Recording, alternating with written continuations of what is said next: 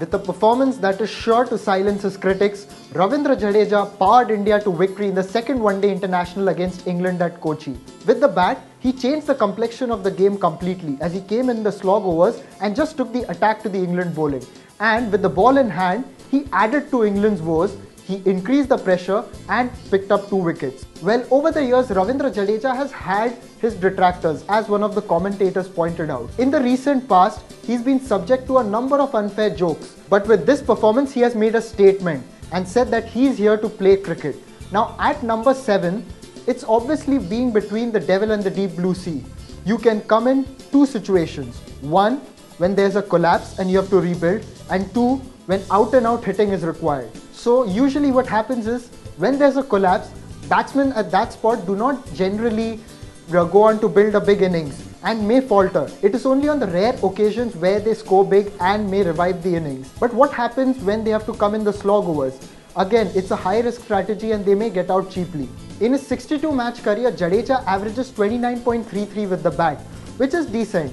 And out of those 62 matches, he's batted at number 7 32 times and has averaged 25.75. At the first glance, that number may not look very impressive, but it is pretty good. If you consider the fact that for men who have batted over 30 ODI innings at number 7, there are only 5 men who average over 30.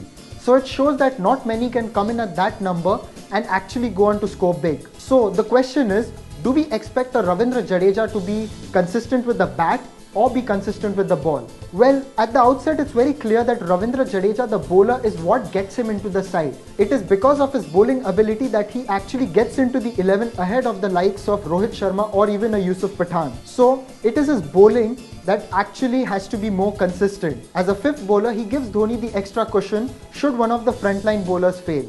And if one of them do, then he can bring in the part-timers with Ravindra Jadeja out of the side, what happens is that Dhoni has to rely on the part-timers to bowl the fifth bowler's quota.